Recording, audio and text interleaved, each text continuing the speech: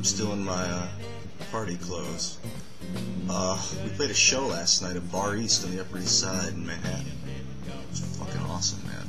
I'll let you decide for yourself how good it was because the audio is available right now on Minds.com. You can download it. It's one thing maybe Google should think about and integrating into YouTube is a download button for Creative Commons stuff.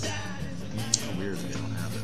Anyway, go to Minds. You can make an account instantly. Can download anything on the site. So, let me know what you think.